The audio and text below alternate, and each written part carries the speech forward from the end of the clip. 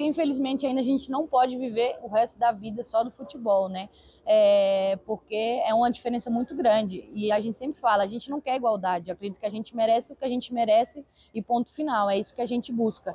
Então é normal que, que a atleta pós-carreira ela pense em alguma profissão, porque a gente sabe que não dá para viver, mas até lá, quem sabe as coisas mudem, as novas gerações já não. Eu acredito que o estudo é importante, independente de qualquer coisa, mas que elas não precisem se preocupar com isso, que as coisas evoluam e que elas possam sim viver do futebol feminino. Eu acho que às vezes as pessoas confundem muito essa questão de que a gente quer receber igual o masculino. A gente, no caso, só queria que o futebol feminino tivesse um investimento igual ao masculino, para que aí sim a gente conseguisse ter o retorno e, quem sabe, um dia ganhar o mesmo que o masculino ganha.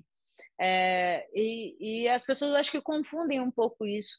E, e para mim, o futebol feminino para o futebol masculino é, são os, é o mesmo esporte, mas são mundos completamente diferentes e que para mim nem se misturam. Para mim, é, é, eu penso muito nisso, porque, poxa, até alguns anos atrás a gente era proibida de jogar futebol. Como que um, um esporte se desenvolve de um, de um, né, no estalar de dedos de um dia para o outro e vai ser igual ao outro, sabe?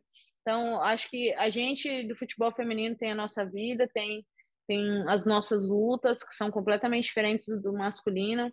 Então, a gente vive outra realidade, tem buscado cada vez nosso, nosso espaço, mas acho que todo mundo hoje luta muito para fazer as coisas serem melhores em, em prol da modalidade, não só pensar no seu bolso, ah, eu quero ganhar dinheiro e tudo mais, mas que a gente pensa muito nisso, de poder ter um futebol consolidado, como eu falei antes, pô, de ter transmissão no jogo, de ter um campo bom para treinar, para trabalhar, uma boa alimentação, um bom lugar para você dormir, uma boa estrutura, sabe? Então, acho que são é, pedidos e conceitos diferentes do mesmo esporte.